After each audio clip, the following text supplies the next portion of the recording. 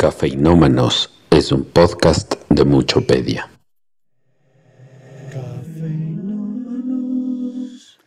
¿Qué tal queridos amigos de Muchopedia? Estamos en un nuevo podcast de esta serie que se llama Cafeinómanos. En esta ocasión estamos con el doctor Valentín Ruano, a quien le damos una cordial bienvenida. Vamos a hablar de unos temas que son un poco, digamos, no un poco, bastante interesantes. El esoterismo. Sobre todo complicados.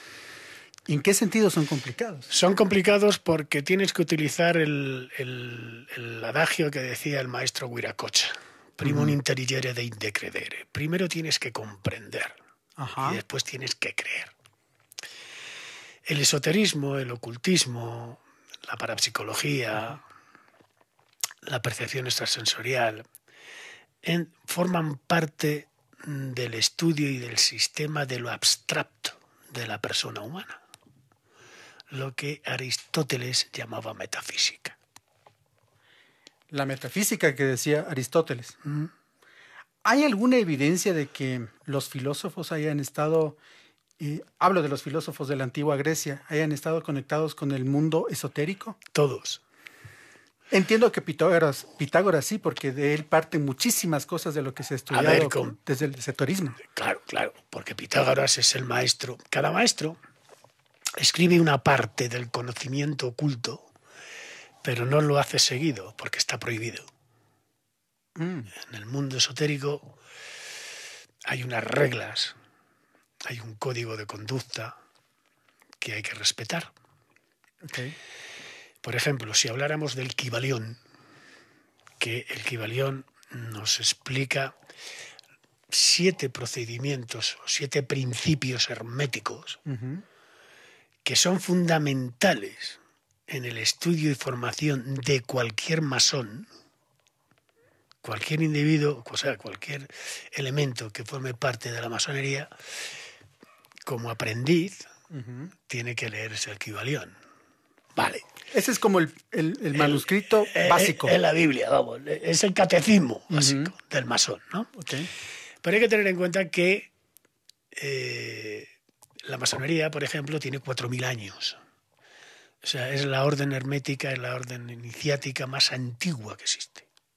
Tiene 2.000 años más que la iglesia, porque viene de la construcción del templo de Salomón. Ahora bien, ¿qué ocurre con, con el Kibalión? Los principios herméticos del Kibalión están correctos, no hay nada que decir, pero son leyes fundamentales del gran arquitecto del universo, de lo que llamamos Dios. Ujú. Nosotros tenemos 48 cromosomas, 23 pares más el masculino y el femenino. Sí. Entonces nosotros deberíamos vibrar a 48 leyes. Es decir, cuanto más nivel espiritual tiene el individuo, tiene la persona, a menos leyes vibra, más etérico es. Por eso es que se reducen a siete principios. Han reducido a los siete principios porque utilizan la ley del 3 y la ley del 7, es decir, la ley del triamaz y camno. El 3 crea, sí, y el esta para Parsinok, la ley del 7, organiza. Tú, para hacer una creación de las tuyas, necesitas siete fuerzas. Necesitas, si tú lo cuentas, tú cuentas tus movimientos en tu trabajo, en el podcast, en todo, cuando escribes, todo lo que haces, utilizas siete energías en vibración, en consonancia, para que esa creación tuya salga, funcione. Si no, es imposible. Ahora, hay una cuestión. Sí. eh, yo he visto cosas, he leído, más de eso no lo sé, pero entiendo mucho que el final es la, la piedra filosofal, pero como, un, como una visión, eh, digámoslo, como un símbolo más o menos de lo que se puede transmutar. ¿Así va la cosa? A ver.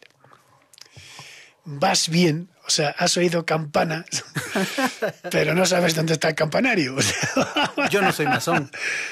Vamos a ver. No hace falta ser masón para ser alquimista.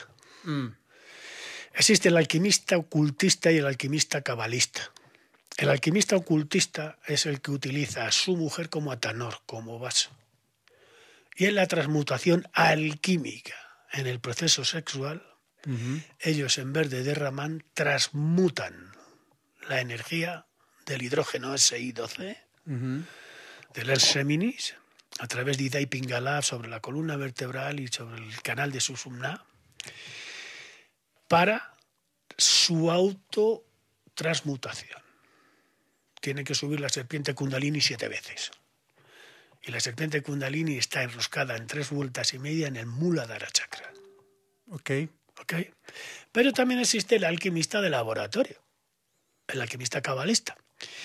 Y dentro de la, de la alquimia cabalística, pues hay cantidubidubidubi, que decimos en España, Ajá. de obras de hombres que lo han conseguido. Nicolás Flamel, Bernardo el Trevisano, Alexander Sinton el Cosmopolita, Irineo Filalete, Olimoyon de Saint Didier, Blansbrick, ¿Pero qué lograron?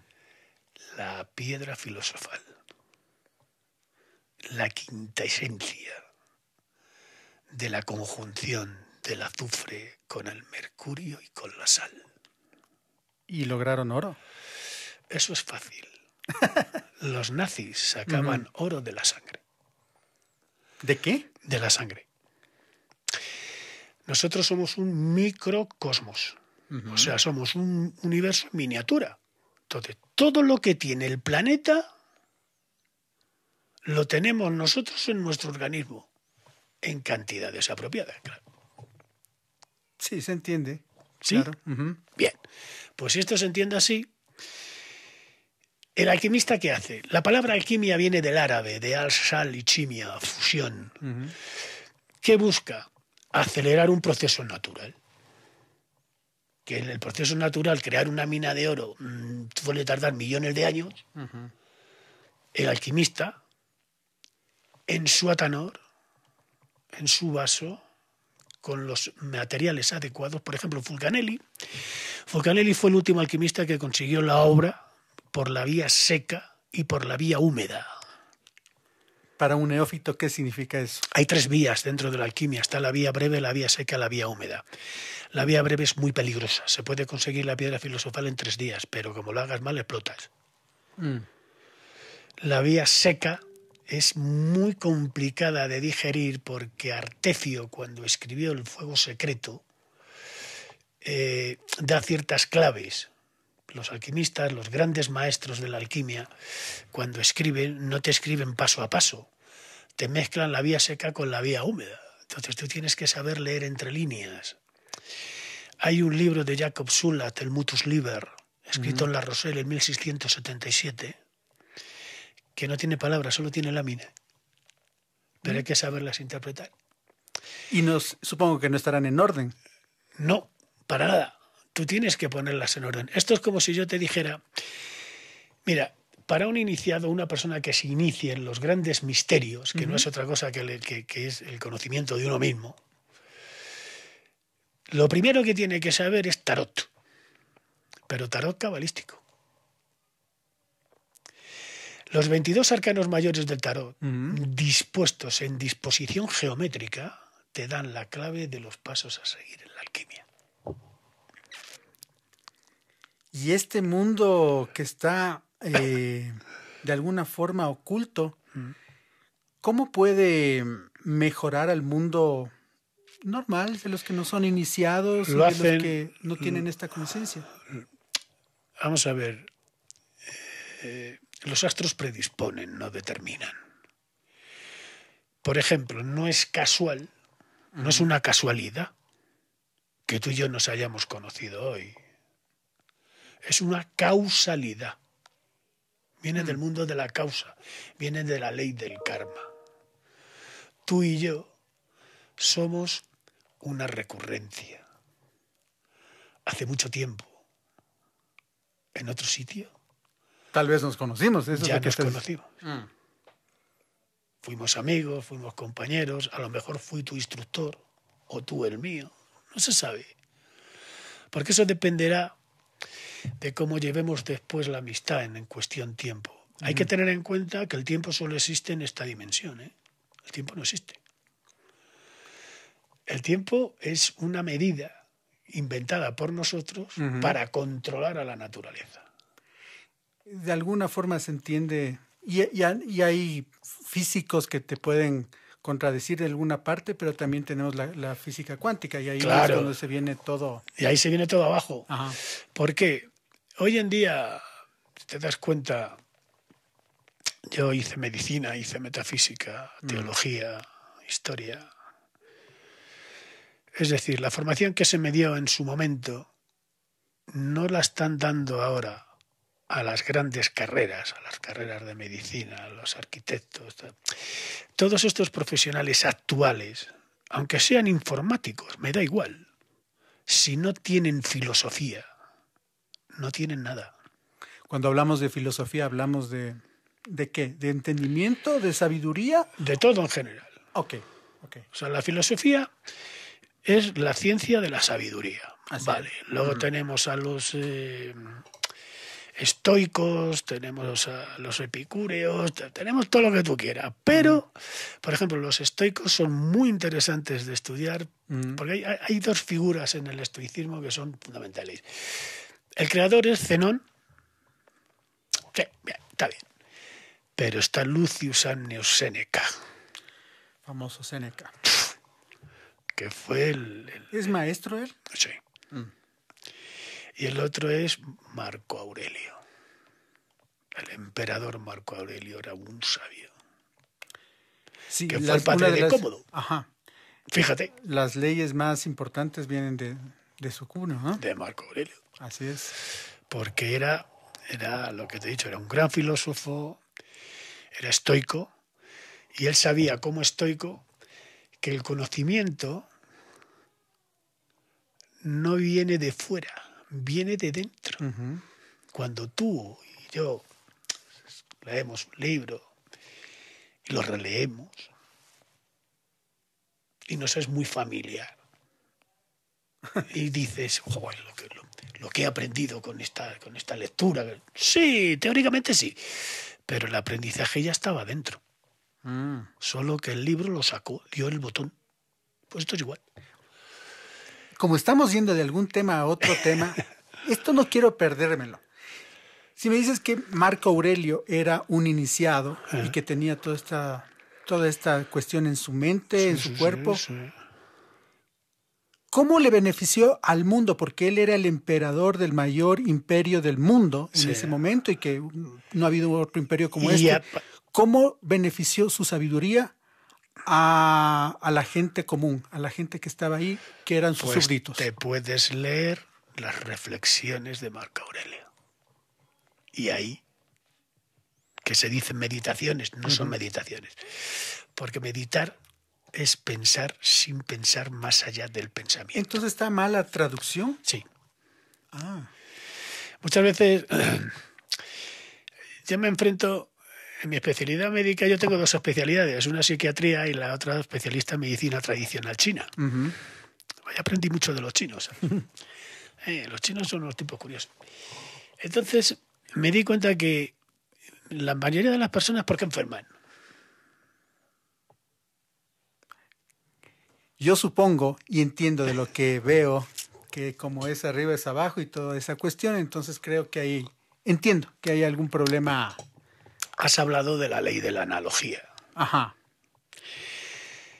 Que viene escrita en la tabla esmeralda de Hermes Trismegisto el tres veces grande. Egipcio. Sí, claro. La tabla esmeralda está en el Museo del Cairo. Yo estaba allí y yo la he mm. tocado. ¿Ah? ¿Y qué pasa? Evidentemente, no funcionamos, enfermamos porque no asimilamos. Cuando tenemos una situación emocional traumático intensa que no sabemos digerir bien, enfermedad gato. ¿Y cómo enfermamos? Pues enfermamos en función de la anatomía y la genética que tenemos. Puede ser el hígado, puede ser el riñón, puede ser el pulmón, puede ser lo que sea. Entonces yo me di cuenta de eso hace muchos años. Perdón. Y me di cuenta también que, tendría que, que tenía que utilizar poca medicina y mucha filosofía para entrar en la mente de mi paciente, activar su sistema inmunológico y utilizar sus propias defensas para reponerlo. Entiendo, entiendo. Es decir, un poco eh, adentrarse en la psiquis de la persona para saber qué está pasando. Exacto. Muchas veces, cuando tienes a un paciente en la camilla o sentado Ah. o tumbado en el sofá, ¿no? Y el tipo empieza a relajarse, por eso se nota. ¿no? Yo lo veo, Mm, tengo mucha práctica. y le digo, ¿cómo es su vida emocional? ¿En qué está en este momento? ¿Qué le ha pasado a usted en su vida Ya. para que usted lleve la mochila que lleva desde hace tiempo? Un divorcio mal gestionado, la pérdida de un ser querido de forma traumático intensa. No he cumplido mis expectativas de cuando yo era joven yo pensaba llegar a esto, a aquello o a lo otro y sin embargo no he llegado. Y eso me queda, le ha dejado una frustración. Todo eso hay que hacerlo comprender, hay que hacerlo digerir. Y luego ya se aplica la, la- la medicina. Y luego ya aplicamos si es conveniente, porque muchas veces el cuerpo actúa, funciona perfectamente y no hay que sobrecargarlo. Entiendo. ¿Por qué le tengo que meter química? Si yo te doy un antidepresivo, te puedo reventar el, el páncreas Claro. o el bazo. Ujú. Si utilizo tu energía y me funciona. Mira, yo fui médico del Comité Olímpico Internacional con sede en Lausanne. Tenía que tratar con deportistas. Los deportistas son muy divos. Sí. Eh, parecen cantantes de ópera, chicos. O sea, esto es una cosa tremenda. El tipo salta a 100 metros o corre. Tiene su mérito para. Que sí, que me parece muy bien, pero que tampoco. Para mí tiene mérito un señor que se mete en un laboratorio durante 30 años y consigue el premio Nobel de Medicina. Entiendo. Para mí. Porque el corredor va- dentro de unos años ya no va a correr. ¿Y, y después efímero, qué? muy efímero. ¿Y después qué? Bueno, pues yo no les podía dar químicos a estos tipos, porque si no, dan doping. Van a competir y dan doping. ¿Qué hacía? Les hablaba y les ponía agujas. Pero con una convicción tremenda, porque si no, no veas. Claro. La cosa funcionaba y los tíos, doctor, ¿es usted? Y digo, madre mía, yo si yo soy un pimiento morrón, hombre, si yo soy un intermediario. Yo no soy nada más. Y no le arde el estómago, no le fastidias el hígado ni nada por el estilo. Hipócrates, padre de la medicina, decía que tu alimento sea tu medicina y que tu medicina sea tu alimento. Este programa se llama Cafeinómanos y aquí hacemos un rito, un rito bastante interesante que es moler el café. Eso nos da un café. Usted ya se adelantó, eh, pero vamos a seguir preparándonos este cafecito acá, poco a poco. Gracias por estar en este espacio de Muchopedia. Yo no sé, me ha parecido interesante que empecemos hablando con que todo no tiene un orden y que por ahí podríamos empezar. Y realmente esta conversación no ha tenido ningún orden y me ha parecido increíble porque hemos hablado de un montón de temas. Son pinceladas que vamos dando porque son temas muy profundos y son complicados. En nuestros vi- televidentes se dice, o Eh, internautas, internautas, nuestros internautas. audiencia también. o la audiencia que tiene este programa, pues si lo tiene bien, que te escriban Ujú. y que digan qué temas prefieren o qué les gustaría de que se hablara o si tienen alguna pregunta o incógnita. Que te la hagan. Dejémoslo, dejémoslo esto como, como es grabado, dejémoslo para una próxima ocasión. Yo creo que estos temas dan para mucho más. Estábamos en, eh, en la cuestión esta de cómo eh, Marco Aurelio, eso me- siempre me ha quedado la duda de que si hay gente que ya tiene la oportunidad y, y- y la, y está en el momento preciso y que tiene el conocimiento, ¿cómo puede dar esos conocimientos al resto si estamos hablando de una cuestión hermética? Es decir, que no se debe conocer. Me parece que ahí hay una contradicción. Todo es contradictorio, pero no sé si podríamos hablar de eso. A ver, no me buscarías si no me hubieses encontrado. Ok. Marco Aurelio. Ajá. La Iglesia se ha preocupado de prohibir el conocimiento, porque cuanto más sabe un individuo, más difícil es de manipular. De acuerdo. Entonces, hay una serie de mujeres y de hombres libre pensadores, o sea, brujos, magos, hechiceras, herejes y compañía, que son libres pensadores que nunca han estado de acuerdo con lo que dice la Iglesia. O sea, una cosa es la religión, otra cosa es la Iglesia y otra cosa es Dios. La palabra religión viene del latín religio, del verbo religare, volver a unir. ¿Volver a unir el qué con qué? Si no se supone que somos lo mismo. Hombre, Ah, digo yo. Entendí. Eso es lo primero. Y lo segundo, ¿quién está en posesión de la verdad absoluta? Tu verdad es diferente a la mía porque tu nivel de realidad, es decir, tu nivel de conciencia es diferente al mío. No es que seamos yo mejor, tú peor, no, no, no, no. Somos distintos porque nuestro nivel de conciencia es el que marca la diferencia.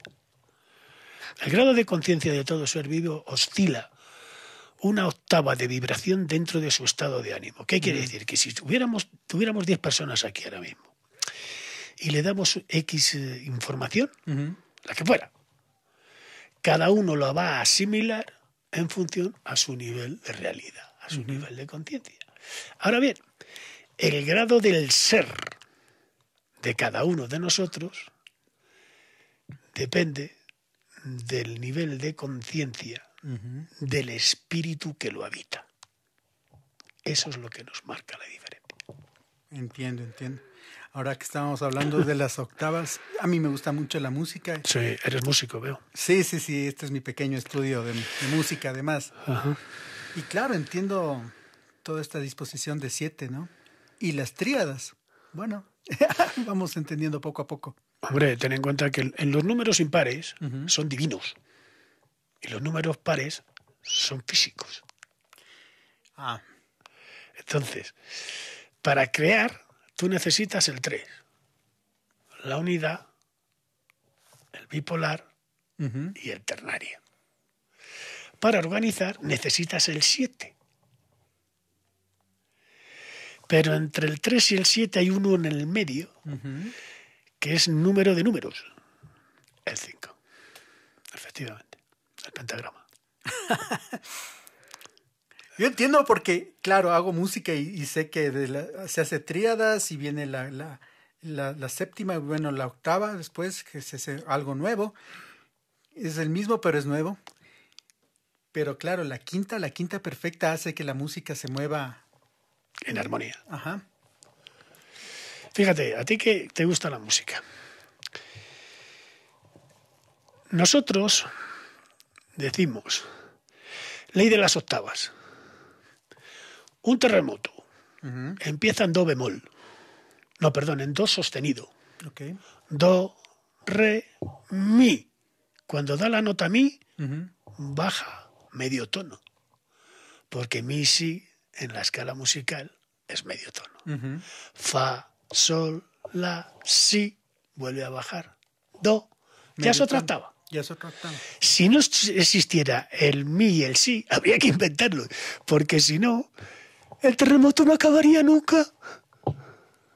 Ah, qué interesante.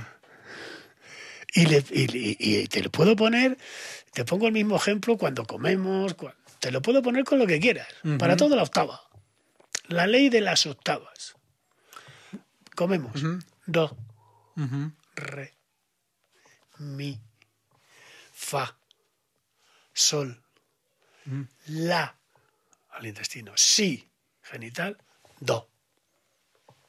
En- entra por do, sale por do. Ley de las octavas. Ah, interesante. bueno, ¿y cómo es ser un iniciado?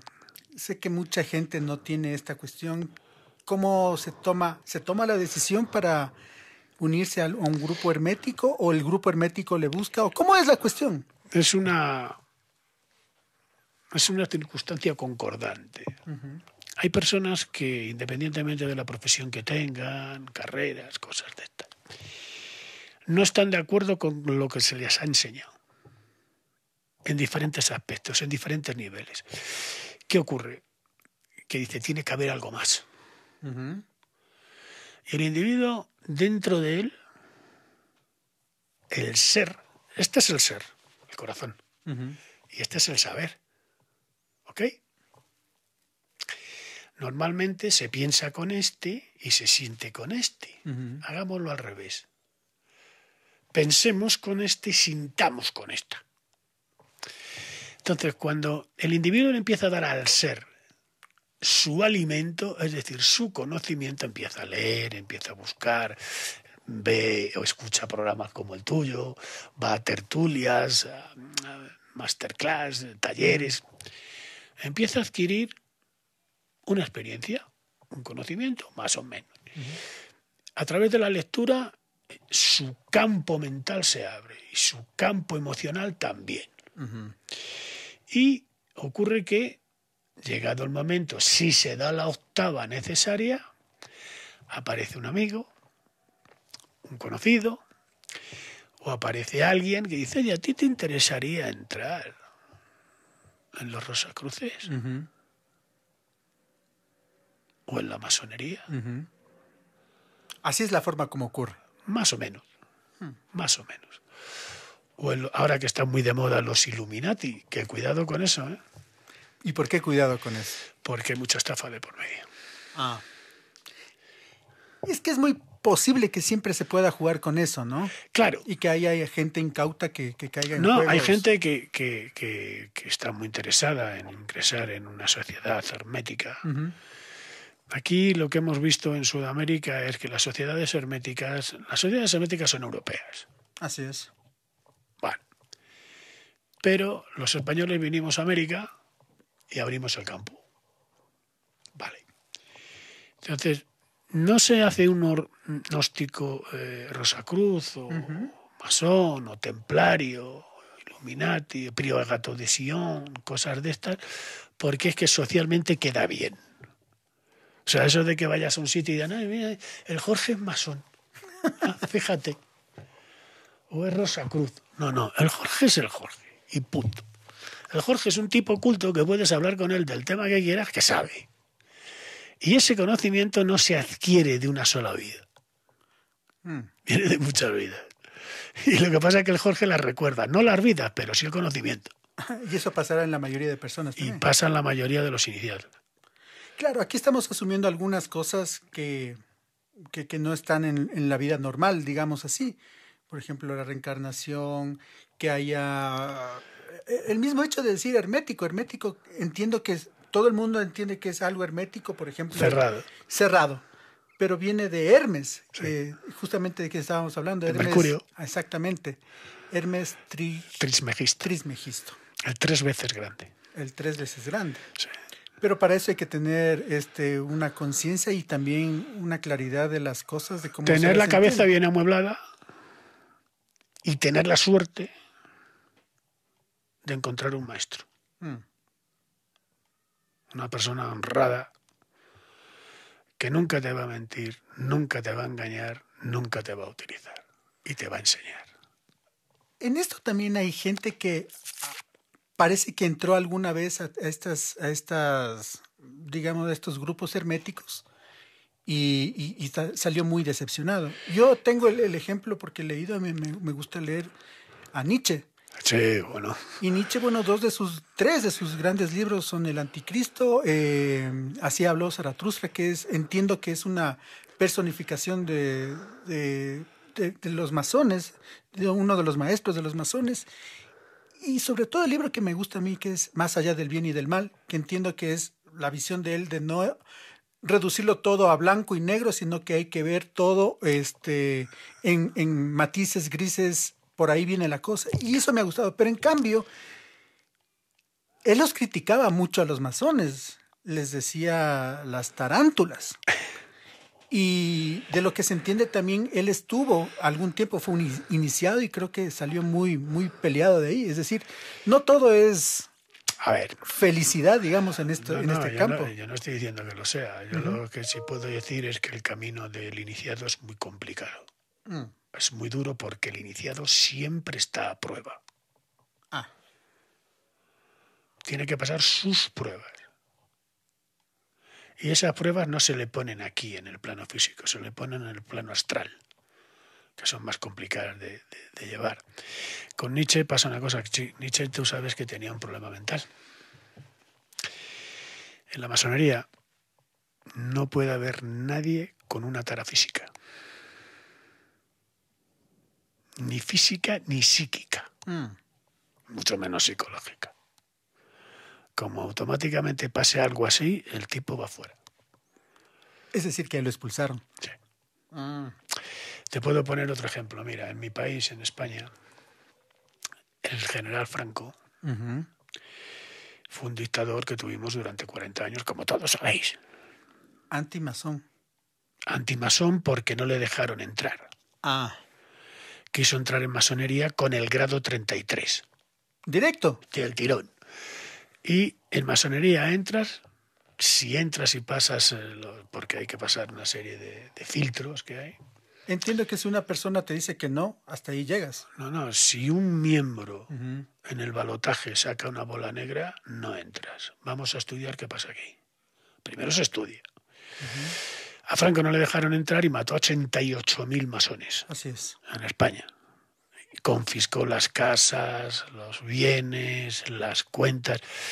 Concretamente en la década, creo que fue a finales de los 90, principios de los 2000, se le devolvió a la masonería todas sus pertenencias que no son pocas. Ahora, hablamos de la masonería, como hablamos del priorato de Sion o de los templarios, pero también podríamos hablar de la Compañía de Jesús.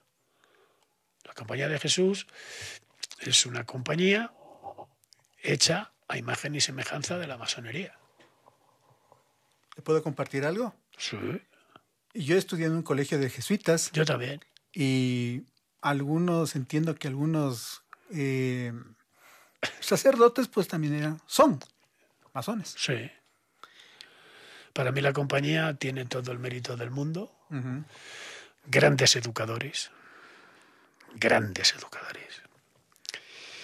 Pero se le llama el ejército negro, la orden negra.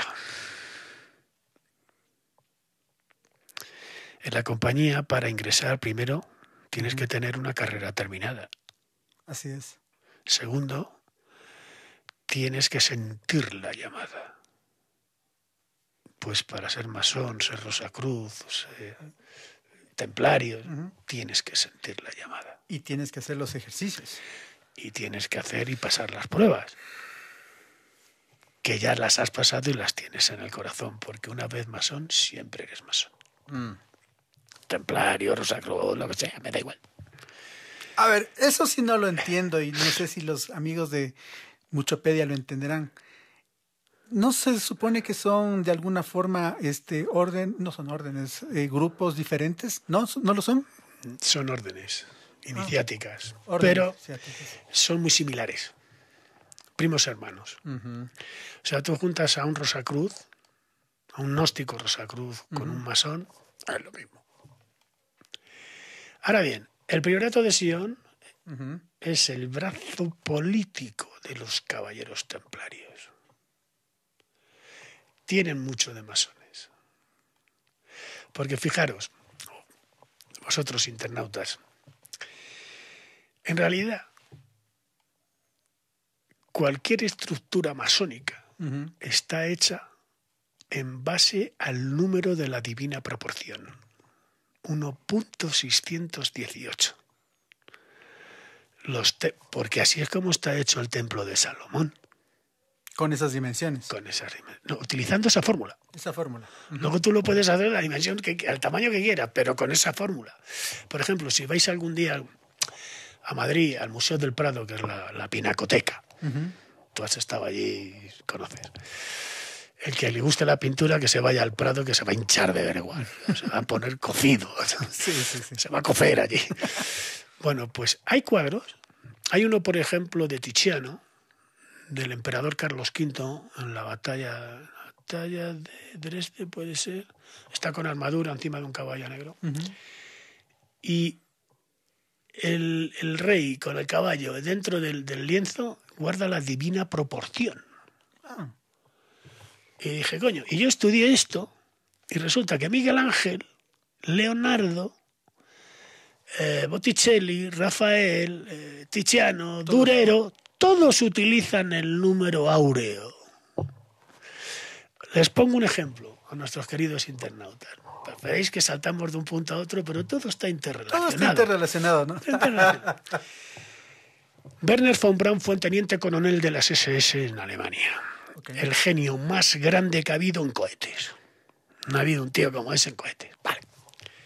No vamos a entrar en cuestiones guerreras, a menos que nos pregunten.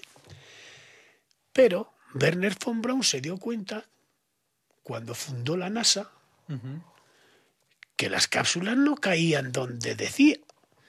¿Esto? ¿Cómo puede ser esto? O estamos haciendo mal algo o estamos utilizando mal una fórmula. Se pusieron a estudiar hasta que se dieron cuenta. Se dio cuenta. Ujú. Pi no vale 31416. ¿Sí, no? Vale 314.1592.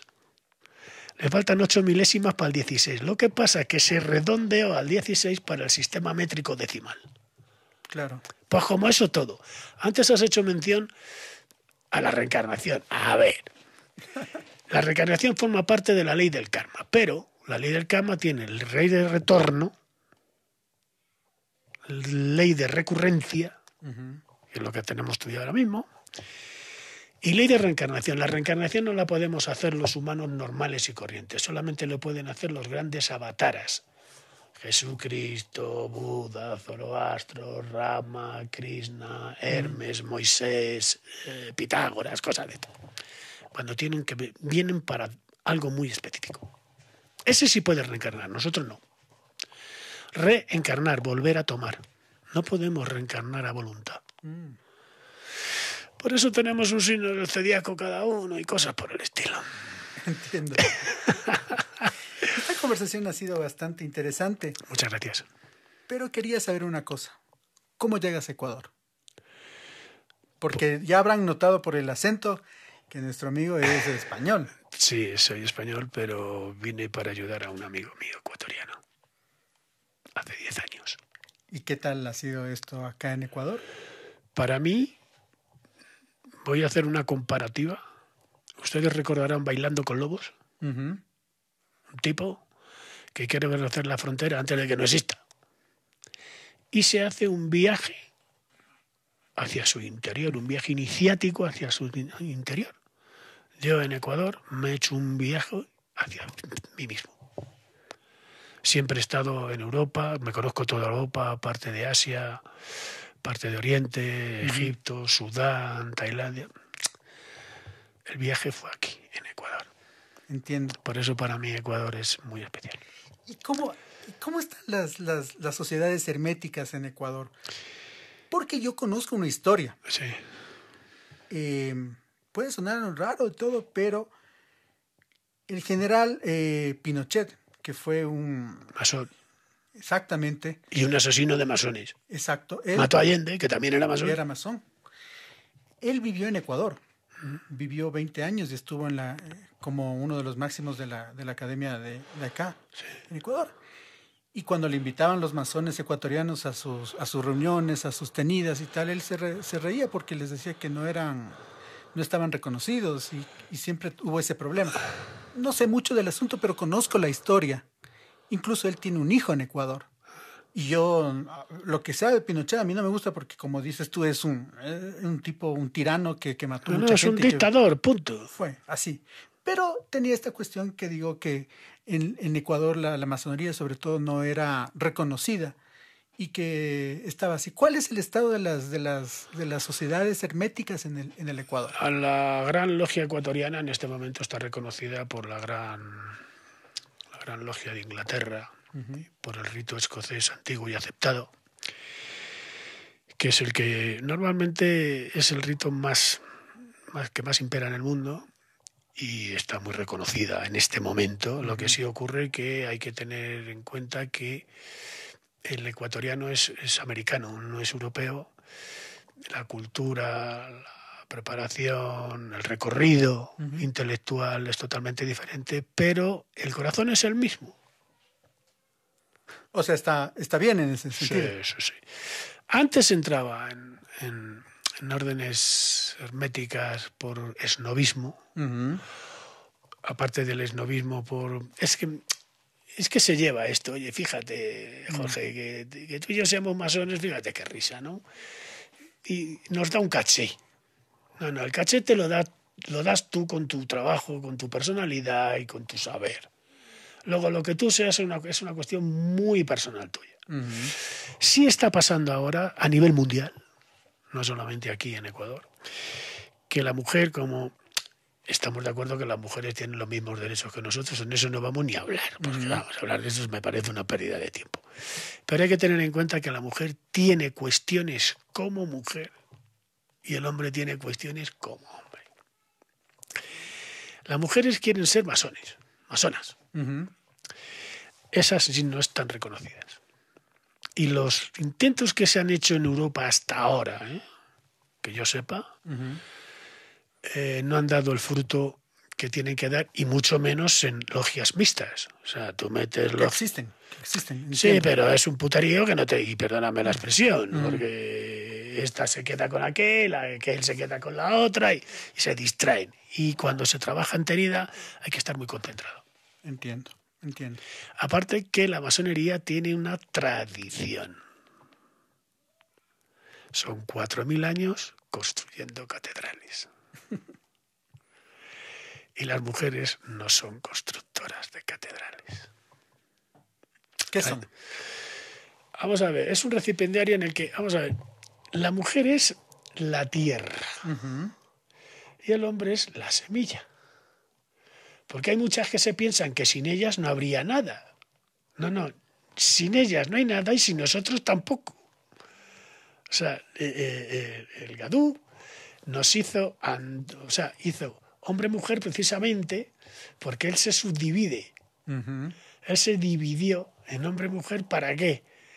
Para que diera origen a la más grande creación de, Dios, que es el hombre. Como género. No, no solamente como género, es que él se manifiesta a través nuestra. Del hombre y de la mujer. Ojo, Exacto, ¿eh? hablo de, de género humano. Claro, el género humano, no, no, no el No como género de tiene- hombre y mujer. No, no, no. Así es. Hay mujeres brillantísimas. Yo cuando las veo, las oigo hablar o charlo con ellas. Yo soy periodista y mi- mis, mis mejores jefes han sido mujeres. y lo mío. Yo he trabajado en hospitales donde he tenido una, una jefa de departamento, de sección, maravillosa. No he tenido nunca un problema con ellas.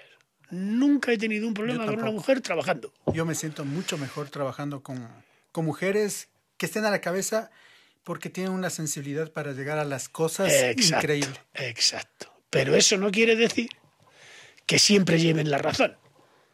Como tampoco los hombres. como tampoco nosotros. O sea, por eso digo que cada uno en su género, cada uno en su puesto, cada uno en su sitio, somos absolutamente necesarios y complementarios.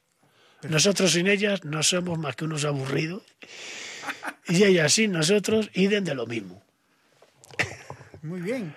Esta interesante charla con Valentín Ruano ha sido para mí muy eh, entretenida, Muchas gracias. pero también he aprendido mucho. Espero que ustedes también, amigos de Cafeinómanos, hayan aprendido alguna cosa. Siempre está bien hablar de todos los temas. Hemos hablado de música, hemos hablado eh, de fotografía, ahora hemos hablado de esoterismo. Me parece interesante. Espero que ustedes lo hayan sentido así. Yo me he sentido muy a, muy a gusto, muy, muy cómodo aquí. Muchas gracias, igualmente. Eh, espero que podamos armar una nueva conversación. Sí, sin ningún problema. Y me encantó esta, esta metodología de todo, de todas las ideas. Lo disperso es como Claro. que más interesante que algo. Mira, los grandes músicos clásicos de Europa, todos eran masones. Ah. y las cosas que hicieron. Para componer eso hay que estar muy mal de la cabeza. O tienes que tener la cabeza en un estado alterado, si no es imposible. Muy bien. Ese Mozart, madre mía. La flauta Así mágica. Terrible. Ha sido un placer estar con todos vosotros. Muchísimas gracias. Le damos un cordial, una, una- un agradecimiento por haber estado aquí a Valentín Ruano y a ustedes, queridos amigos de Cafeinómanos y de Muchopedia. Muchísimas gracias y tengan un resto de día espectacular. Muchas gracias. Gracias. Hasta la próxima.